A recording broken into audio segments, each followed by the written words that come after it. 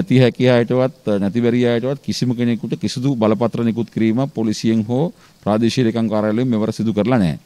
ඒ අත්‍යවශ්‍ය සේවාවලට අදාළ අයට ඒ වගේ සේවය කරන අයට යාමට අවස්ථාව ලබා දීලා තිනවා. ඔවුන්ට බලපත්‍ර ගන්න ගිහින් පොලිසියවල හෝ ප්‍රාදේශීය ලේකම් කාර්යාලවලින් රස්තියාදු වෙලා ඒ ස්ථානවල දිගු පෝලිං හදාගෙන ඇවිල්ලා ඉවරලා කොවිඩ් බෝ කරගන්න නැති වෙන තමයි ඒ තත්ත්වය ඇති කරලා දීලා තියෙන්නේ.